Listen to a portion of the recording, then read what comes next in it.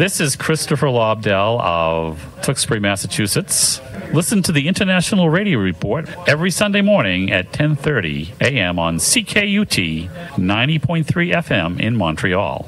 Welcome, everyone, to the International Radio Report for Sunday, November the 3rd, 2024. We thank you for joining us. My name's Sheldon. I'm here with Jill, and we have 30 minutes of news and information for you from the world of radio a busy week this week. We have a lot of stories from uh, here in Montreal, in Canada, and a number of stories from around the world. So we should get right to it.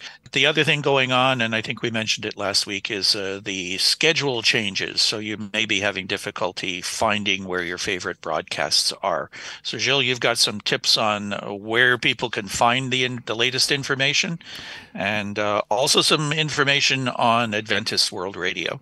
Yep. So um, we have uh, the uh, new schedules for the B24 schedule season. We have uh, on shortwave two uh, schedule seasons every year. So now it's for the what they call it the winter. I, I hate to use that because depending on where you live in the world, it's not necessarily winter. Um, um, so the new schedules, of course, mean stations have changed frequencies. Some even have shifted their time because some shortwave broadcasters shift with the time change on their own countries also. Like radio romania for example does that. If you want to look at schedules first of all um, the one that was the fastest to update its schedules eibi space.de and don't worry we'll put the links with uh, the show. That one is pretty good. It has utility stations also in it. It's very very nice and probably the most accurate of all the lists but it is a list and it's a little hard to go through for a lot of people. Uh, something a little easier that seems to be pretty uh, up to date already uh, short wave.info. This one is easier because this one you can search for what you're listening to and on the frequency uh, that you're uh, tuning, and it has like you know a visual of where the station's from, where it's transmitting. So it's kind of easier to go through for people that have a hard time with uh, listings like EIBI that has a lot of abbreviations to learn to get used to. And if you want to uh, check out another one that is a list, but that is interesting because it's where stations register their broadcasts, hfcc.org. They now have the B24 listings up. You can look uh, at a listing by frequency, by time, also by broadcaster. It's a little difficult to manage on that one too because they have abbreviations, but they are different than EIBI space. Instead of having, for example, the name of the station with the transmitter site, they'll have the name of who owns the transmitter site. So that also is a little rough when you're not used to it, but it has great details of everything. And it's usually accurate, and they update it every day with new information coming from the shortwave broadcasters. What I like about the shortwave info site is if you're just tuning across and you land on a frequency, you put it in and you can ask it who's broadcasting now. Yeah. So you'll see a, a list come up and with a map showing you where the transmitters are. And that's almost like a visual immediate right in front of you. And you can sort of scan down and they highlight the ones that are broadcasting at that time. So it's it's very, very easy to understand. I, I, I kind of prefer that one. But if you're looking for utilities and that sort of thing, like you said, uh, really the EIBI space is more complete for that reason. And uh, we have a little bit of news about a show called, what it was called AWR Wavescan, and now it will be just simply called Wavescan. Uh, this is a show that talks about radio. It's one of those uh, DX shows, if you want. Uh, it's always very interesting. I listen to it every week. Uh, what happened is AWR, that used to have relays all around the world on shortwave, has now uh, extensively diminished their broadcasts. So now they're only from Guam, and the show AWR Wavescan kind of detached from the broadcaster. So it's not going to be on AWR itself anymore. It's going to continue on regular stations like WRMI, WWCR, uh, Channel 292 in Europe, uh, and a few more broadcasters. And it's a great show to listen to if you like uh, to hear about um, radio. They have always great re- uh, reports of history uh, of radio of different countries. And uh, so um, it's Jeff White and Ray Robinson that are pretty much uh, putting the show together. They have a few extras in the show, like uh, the uh, Japanese DX reports, stuff like that, that come in regularly. So great show, and it's now just simply called Wavescan. And we'll put the link of the new site that they have where the podcasts are recorded for the show. And of course, you can listen to it on shortwave. Um, one time that I listened to it here in the East Coast uh, in Montreal, which comes in well, is uh, uh, 0430 UTC on uh, 4840 kilohertz uh, over WWCR. Okay, there was a lot of people asking about that, thinking that the show was going to disappear forever. Yeah. But uh, so now we know uh, where you can find it. We advised you last week to start checking for pirate radio activity around Halloween, and sure enough, uh, it was extremely active, both October 30th and the 31st. Just have a quick rundown of some of these stations you may have heard yourself. If not, you can go to hfunderground.com and look at uh, details about the various stations that were broadcasting. So it was really busy. Midnight Radio, XFM, WTF, Wolverine Radio, KRST, WDOG, Mix Radio International, Solid Rock Radio, WAPE, Ion Radio, Boat Anchor Radio, Outhouse Radio, Sicko Radio, Liquid Radio, Voice of the Abnormal, Thunder Chicken Broadcasting, Radio Comedy Club International, Jack in the Box Radio, Worldwide Basement Radio, Wild Mountain Radio, B side radio, but probably the oddest one, and the first I think I've ever heard of this one uh, that showed up, was called The Voice of the National Socialist Democrats. The DJ was speaking in German, and he obviously loved heavy metal music because that was what was being played on that station. And they were they popped in a couple times during the the the, the Halloween period. So uh, a lot of activity. Uh, some really strong signals, others kind of weak. There were some digital ones that, that were putting pictures up on your uh, software defined radio screens on the yeah. waterfalls. Uh, I had one that was just transmitting some sort of sine wave that was visualized on the on the screen of the SDR. So a lot of creativity, uh, a lot of uh, new stations that weren't heard before. So we hope you tuned in and caught some of them, and uh, go check out uh, more details about them. One of the uh, stations I heard that made me laugh was a pirate station playing spooky sounds with over it WWV time signal.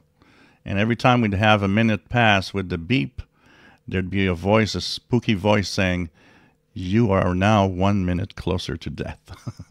it's like, okay, that's that's a good one. yeah, I know some of the stations, you know, a lot of Black Sabbath music and uh, Vincent Price and Alice yeah. Cooper and all of the Halloween usual stuff. So, anyways, a lot of fun. So, uh, on local radio here, we have a little story that um, is a little controversial, but um, what is happening is that a sports guy called Jeremy Filosa has, in his, his usual reports on the 98.5 FM station, started talking about the moon landing and just mentioning that he didn't think that the U.S. ever went on the moon. So it started a very big debate in the studio with the host. So the host, Philippe Quentin, kind of was a little surprised and started telling him, well, maybe you should look at the types of sources you're reading on the internet and get real news. And it went on a little bit like that. And what we learned is the next day, of course, the uh, Jeremy Filosa was gone from 98.5. They had taken him off the air and uh, we were wondering, will they fire him or not? Well, we finally learned that he will simply be sent to um, a kind of a course to uh, help him refresh uh, his um, journalistic integrity, if you want. There'll be uh, several weeks. He's not going to come back on the air before next year, but uh, he will be back after he follows that course because they want him to uh, be careful, I guess, of what he says. I guess they figured uh, he's a sports guy, talk sports. Yeah. Uh, you know, don't get into other maybe potentially controversial issues. But I, th- I, think that was a little extreme. I mean, it is a, it could be a free speech issue. Uh, someone on the radio is not entitled to an opinion, according to whoever runs that station. Yeah. I don't know. Uh, I'm not not sure how I feel about that. Yeah, definitely, it's uh, something that's a little delicate. And uh, he's lucky in a sense because uh, 98.5 is known to fire everyone. So, yeah, exactly. Anyways, we thank Normand, uh, uh, one of our regular listeners, for passing that story along. It came to us uh, through uh, Hugo Dumas of the La Presse newspaper here in Montreal. Next, uh, we have a news uh, story out of Winnipeg. it comes from Broadcast Dialogue, written by Connie Thiessen.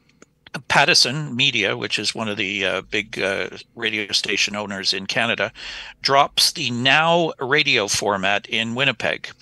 Pattison Media abandoned the Now radio format in Winnipeg at midnight Central Time, introducing ALT or Alt 94.3, Winnipeg's music alternative. CHIQ FM will now play the best of alternative music from the 2000s to today, with a playlist featuring artists like Muse, Coldplay, The Arkells, Death Cab for Cutie, 21 Pilots, Cage the Elephant, Foster the People, and Foo Fighters. General Manager Mark uh, Patrick told Broadcast Dialogue that, that Marika and Turnbull, the hosts of the morning show, will continue in the mornings with both local and out of market voices to be heard in other day parts in a non traditional approach. You'll hear multiple voices throughout each hour of the day, said Patrick. Those voices locally are Aaron Penman and Zap Davids, and then out of market voices are Melissa Thomas from Vancouver, Travis Bretzer from Edmonton. We'll be adding more local and out of market voices to our content lineup in the new year. The Now radio format was introduced to the city in October 2021, a departure from 94.3 The Drive, the classic rock format the station previously had carried since 2016.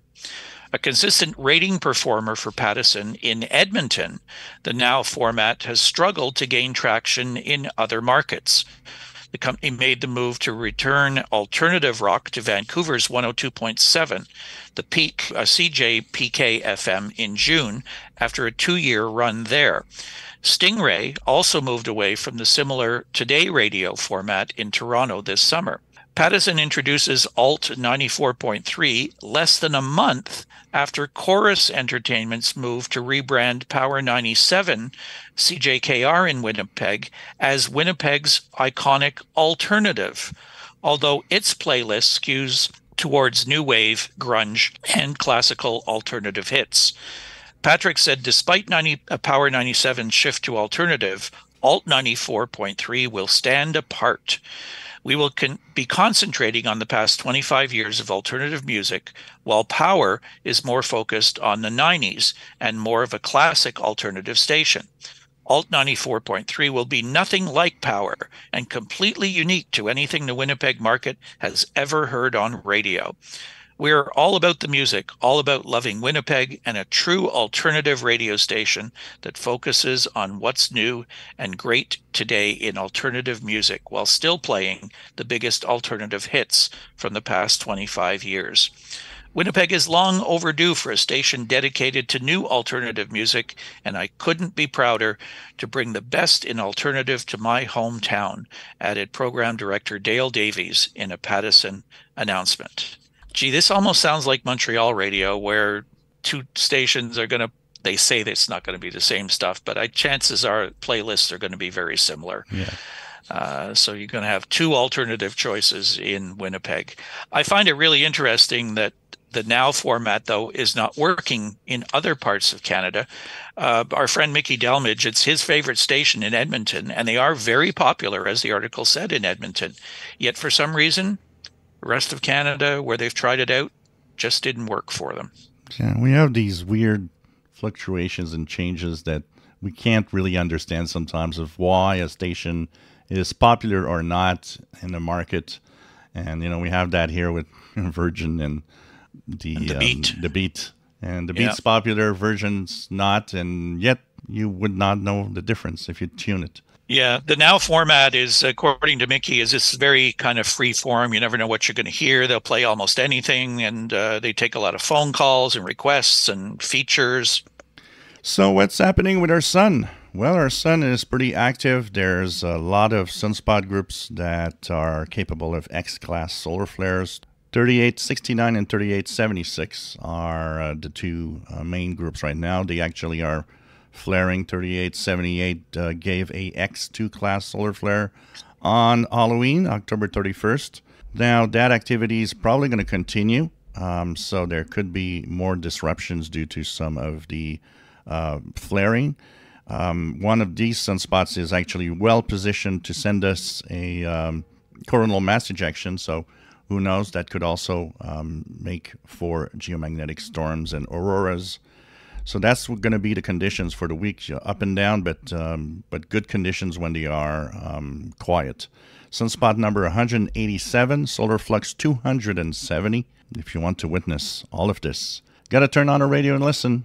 David for the latest news from the world of radio every Sunday morning at 10:30 on the International Radio Report on CKUT 90.3 FM in Montreal and online at ckut.ca. Uh, Gilles, you've got some uh, really good news about a lot of people's favorite shortwave radio station.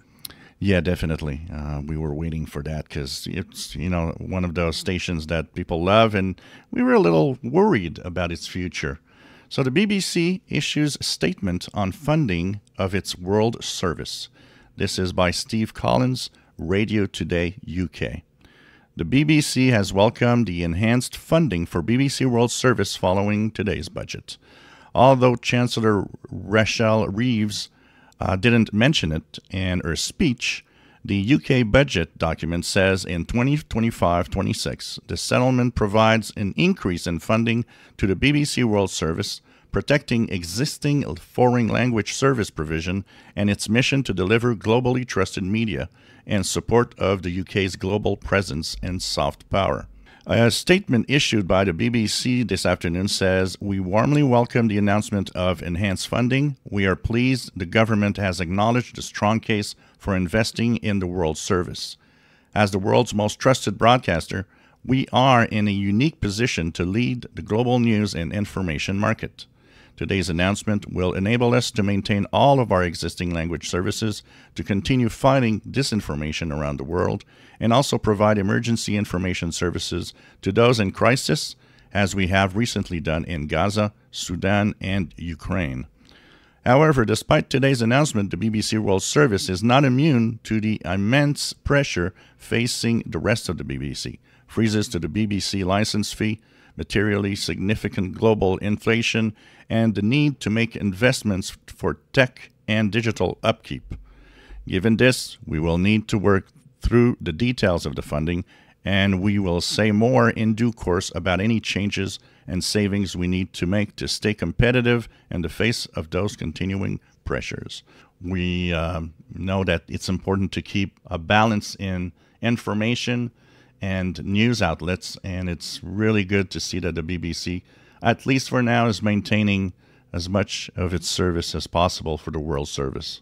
Yeah, it is great news. And uh, as it says in the article, uh, they've done so much great work in broadcasting to uh, conflicted areas, uh, giving you opinions on uh, political developments in different parts of the world, election coverage. I think it'll be interesting to listen to BBC this coming week for the U.S. election to get a different viewpoint uh, on what's going on, how they will be observing what happens in the U.S.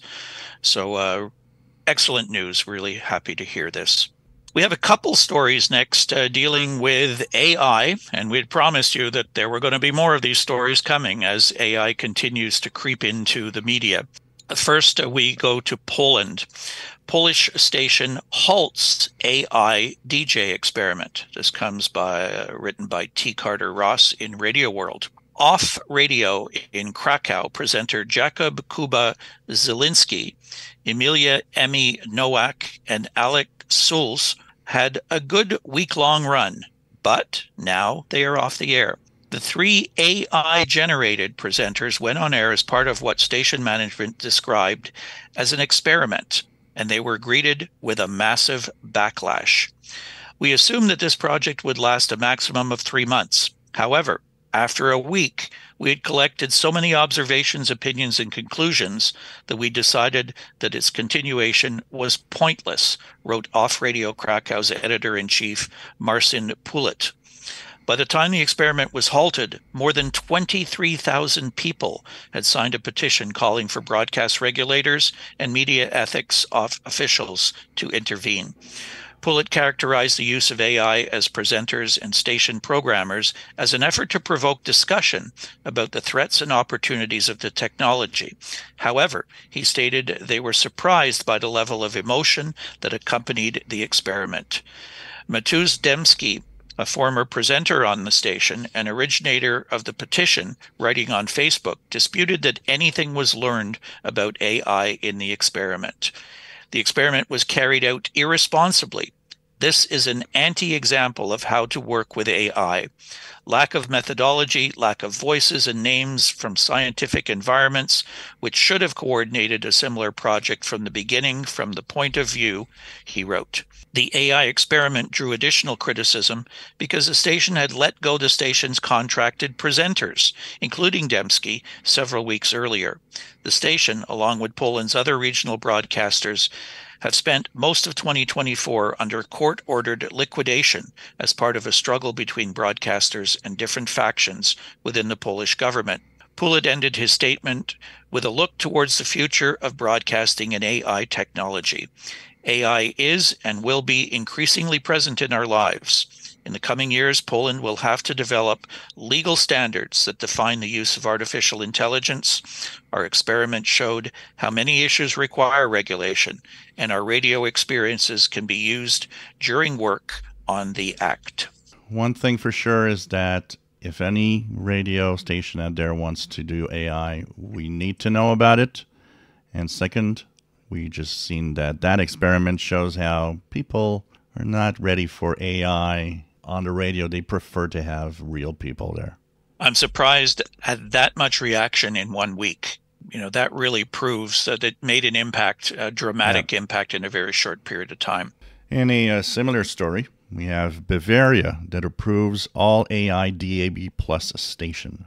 This is by T. Carter Ross of Radio World the Bavarian State Center for New Media, BLM, has given Antenne Deutschland its approval to launch a new station programmed and presented by artificial intelligence, Absolute Radio AI. Absolute Radio AI originally launched in July 2023 as an online streaming service as well as on a local DAB multiplex in Braunschweig, Germany from August 2023.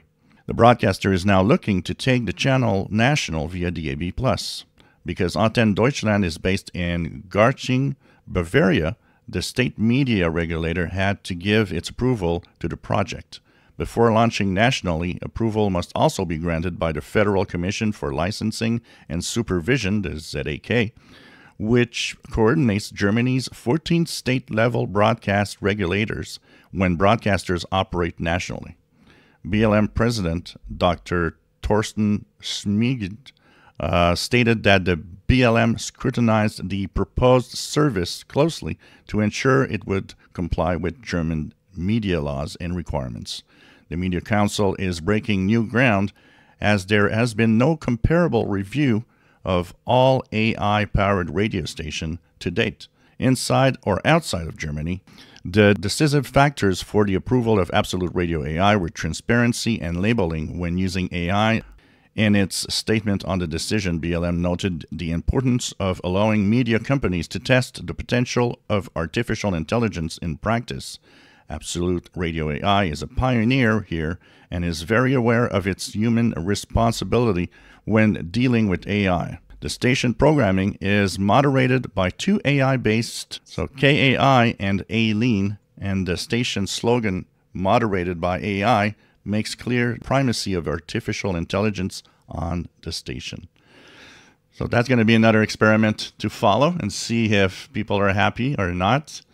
Uh, definitely, um, you know, I mean, I'm curious. I'd, I'd be curious to hear anything like that on the radio just out of curiosity. But uh, we'll see. It depends on how they do it, I guess. And once again, will people listen and say, yeah, I like it? Or they'll just say, no, no, please put real humans? At least it looks like Germany is is keeping a fairly tight control on this and and it is an experiment. They are making sure that people are aware that it's ai that they're listening to. So i think that's really important and i think everybody should have to do that yeah. so that uh, you can make your choice. You know do you want to listen to something and do you want to know that it's ai i think most people probably would. Yeah definitely. There needs to be uh, rules uh, surrounding those stations, especially as AI gets better and better, will be with radio stations that we might not even notice at all that it's AI driven rather than real humans out there. So we have upcoming ham radio contests. After last week's big worldwide contest, we now have a bunch of regional events taking place. We start with the Worked All Europe DX contest, RTTY, and that is organized by the Deutsche Amateur Radio Club. 000 Zulu November 9th to 2359 Zulu November the 10th. Uh, 3.5, 7, 14, 21, and 28 megahertz bands, and the mode is radio teletype.